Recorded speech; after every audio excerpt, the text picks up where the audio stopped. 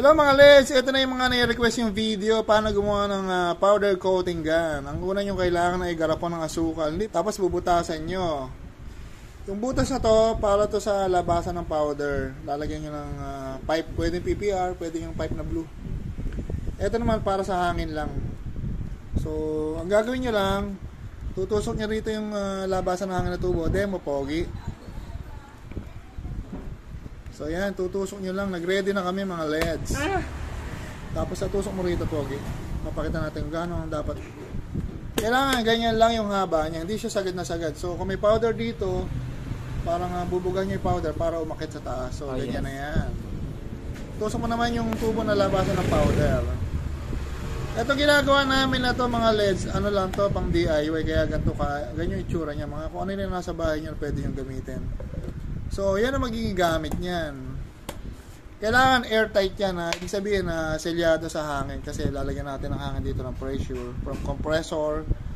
Ang kailangan nitong pressure is 5 to 10 PSI lang so low pressure lang. Uh, kaya sa palagay natin kasi pwedeng gamitin yung mga deboba panggulong ng bisikleta. Gagawin natin ngayon, isisil natin, gagamitin natin ng glue stick. Ayun ang nagde-demo si Master Puboy. Ayan, at dahil wala kaming glue gun, ginagamit namin ay uh, heat gun. O, oh, pwede rin heat gun, pwede rin diyang kandila. Tutunawin nyo lang yung... Ang tawag yan? Glue stick. Glue stick. Nakawala ko sarili. Para maging silyado na yung butas at makapit na rin yung kinakabit natin mga pipe. Siyempre, magkabilayan, lalagyan natin parang ganyan lang mga layer. O, lagyan din natin yung kabilang tubo na dito lalabas yung powder. Yung sukat nito, mga trial and error yan. Kung malaki yung pipe na to, pwede nyo palitin, pwede nyo lagyan yung loob ng buto niya para lumit. So, ganun lang yan. Hindi kailangan may saktong sukat, kailangan lang gumana siya ng maayos. Uh, makikita, makikita nyo naman yan eh. So, yan ang kinalagyan ni Buboy ng glue stick. At para hindi siya gumalaw. Yan, kailangan ilalim at ibabaw. Mayroon siyang glue stick para talaga airtight siya. Hindi siya sisingaw yung hangin. Mabilis to kung may glue gun kayo sa lang. Yan. Bili kayo ng glue gun, mas maganda yan mga LEDs. Pero, so yan mga LEDs, ito na sa ilalim. Ayan, natutunaw-tunaw pa. Hindi kasi pinalamig. Tapos dito sa ibabaw, papatikasin na lang natin yan. Tapos pag tumigas ay ready na.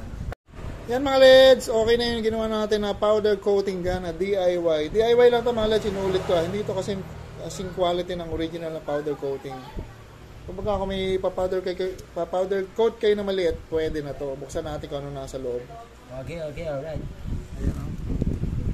May powder coat na yan. Ilagyan na namin. Again, ang available na powder coat dito is Sahara Black lang kasi yun ang ginagamit namin sa mga bracket. So, yung binibenta natin ay mga sobra lang yun na powder coat kasi marami tayo nun. So, dito lalabas yung powder sa puti na to papunta rito. Dito naman lalabas ang hangin galing sa compressor. Pakita natin yung compressor. Yung compressor natin ginagamit, malaking compressor to, pero hindi na kailangan malaki kasi kailangan nyo lang pressure is 5 psi to 10. So, nagsinet na natin, may regulator yung compressor ko, so regulated na yung hangin niya. Nang mababa yung uh, pressure ng hangin na lalabas. So, kakabit na natin dito. Titingnan natin yung bubuga. Ayun o. Oh. Ito pala pinakamadaling para. Dito ka, dito ka lang ha. Kung talagang walang-wala naman kayo at garapon lang ang kain nyo, saka ano, eto lang. Tingnan nyo mga led, sahay ka lang. Ayan, ah. bibigyan na si Buboy ha. Tingnan niya. Ayaw. Ala. Ay, meron na. Ano ba? Ayan o, oh, apakahina nga lang, di ba? Eh, hihingal ako eh. hihingal daw siya. So, lagyan natin ng compressor. So, yan, pakita natin ang forma. Yan yung uh, air gun, yung lalabasan ng hangin galing sa compressor. Nakasaksak rito. Ayan, may mga glue stick na. Ayan, buga. Ayan o. Oh. Ayan o, oh, ayan o. Oh. Try natin sa combination wrench ko at nalyabe na combination.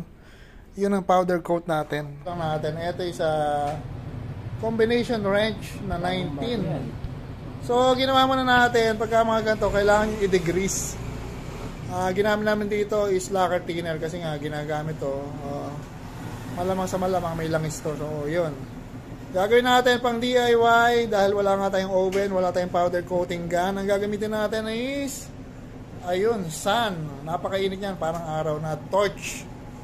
Ayun, ito torch natin para uminit. Ayun, oh, napakalakas. Ayun, parang naglilitsyon lang ng baboy. Napakaiksi ng alamon mo, papasok ka. So, ayan.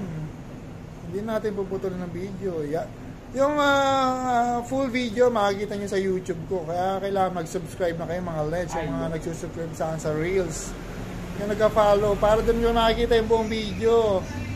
Kasi nga, limited time tayo sa Reels eh. So, yung powder coating na to, pwede to sa mga metal na aluminum, alloy, um, tanso, stainless, o bakal. Kailangan lang, pag magka-powder coat kayo, tatanggalin yung mga pintura o yung mga madudumi dyan, mga langis. Kasi uh, mayroon siyang chemical reaction pag may mga oil tapos in-oven nyo. Andun na yung powder coat, kumukulo yan. So, dapat ganun. Ayan. Ah, kung nga pala magka-powder coat kayo, gagamitin nyo torch. Ingat kayo, minsan umaapoy din pagka na sobrang lapit. So, mas malaga, huwag nyo muna tututukan na apoy. Huwag sobrang tutok. Ayan, umuusok-usok pa mga LEDs. Kung mag-awa ka mag-ano. So, ayan. Siyempre, mas maganda pa rin ang uh, result niya pagka powder coating gun, na in-oven, na ginamitan ng sandblasting. Ayan, oh. May sandblaster tayo rito. Ayan. Yung init niya, make sure lang na mainit talaga para pag spray nyo, kapit alamgat yung powder. So ayan, kukuha tayo ng assistant na poging-poging pogi. Ayan, ang, la- ang laki ng katawan, no? Parang si uh, Hagiwagi. Pagka Hagiwagi, alam ni Niki, ano? Hagiwagi, Hagiwagi, nakaganon. Kahit hindi, hindi ka Martin. Coco Martin pa. So ayan mga guys, bubugahan na natin gamit ang uh, DIY lang na powder coating gun. Layo mo poging konti. Ayan o. Oh. Tingnan nyo, napakapino ng buga niya.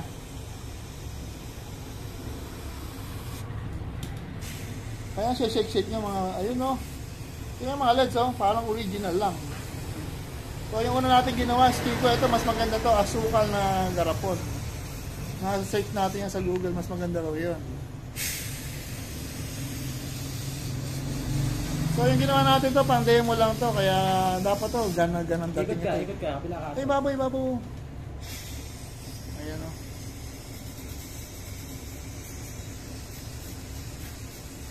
Ito na mga ko inyo, ang finish maganda product. powder coat. Napakaganda. Kaya lang, bibili kayo nun. Tapos ah, pang DIY nyo lang, hindi siya sulit. Sunday black ang tawag powder, or powder Sahara coating black. ganyan pala, bili ko dyan isa na na.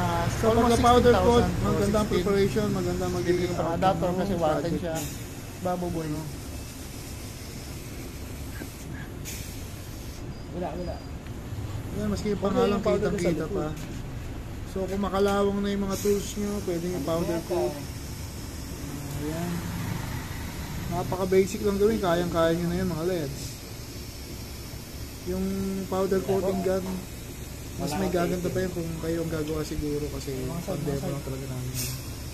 Ito yung powder coat natin, available yan sa Shopee store natin, Nelson M. Series. For only 590. Ayan mga lag, finish na natin to kasi kami hindi natin gagawa. Ayan. Yung isang toolbox nyo, sobra pa. So yan. Gagamit na kami improvise sa powder coating gun. Saka air compressor o air pump lang. Ayan mga LEDs, uh, din, uh, na natin na powder coat na siya. So ito na ang uh.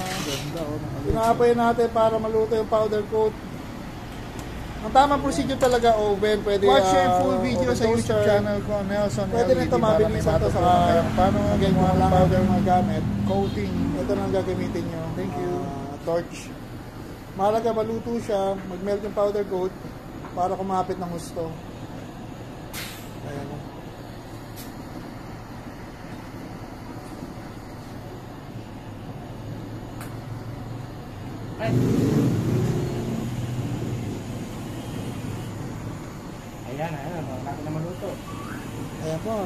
Luto na to mga idol. Ang sarap na eh.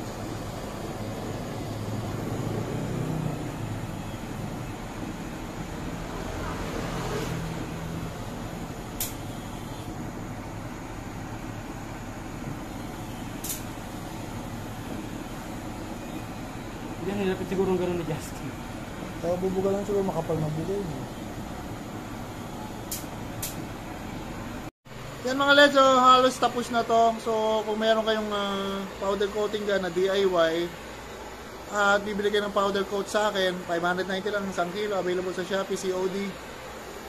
Pwede nyo magamit sa mga pang DIY nyo, pwede sa motor nyo, sa mga lever guard, sa mga bar end, yung maliliit lang. Mga gamit nyo sa bahay, mga liabi nyo, pwede pwede. So kung yung mga tools nyo, makalaabot mga lapit mga yung mga tools nyo, ikot mo. Pag yung mga tools nyo makalawang na, huwag mo din ha. Pwede, pwede. Ayaw lang siya mag-focus. Huwag mo ganyan. So yan, ayaw talaga mag-focus ang camera ko. So yan mga guys, tingnan nyo naman texture niya. Ang ganda oh. Yan yung sa, ayan, yan yung Sahara Black. Ganda-ganda oh. Kitang kita kagandahan. Pati yung ano, kita pa rin yung mga sulat niya. So kung may liabi kayo mga luma, kahit ano pa yan, na metal, pwede pwede. Yung 590 nyo, marami nang mga malalagyan na powder coat yan. So yan mo mga LEDs, ganun lang. Ah, napakasimpleng gawin, napakasimple ng mga gamit na kailangan nyo, magagawa nyo ng mag-powder coat sa bahay. Makakamenos kayo ng malaki. Ito na mga LEDs, ang finished product, napakaganda. Yan o. Ayan o, Sandy Black ang tawag yan or Sahara Black. Sa pagka powder coat, maganda ang preparation, maganda magiging outcome ng project nyo.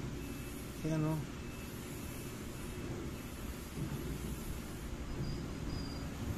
Ayan, maski yung pangalan kitang kita pa. So kung makalawang na yung mga tools nyo, pwedeng i-powder coat. Ah, ayan.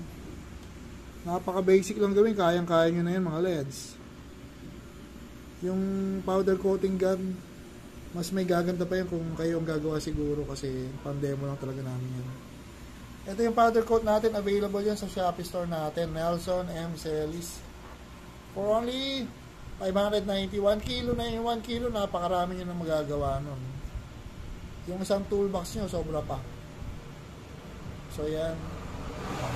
Gagamit na kayo na improvise sa powder coating gun sa air compressor o air pump lang pwede na yan eh. Baya pala. Ganda oh mga LEDs oh. So yan. Watch yung full video sa YouTube channel ko Nelson LED para may matutunan kayo kung paano gumawa ng powder coating. Thank you.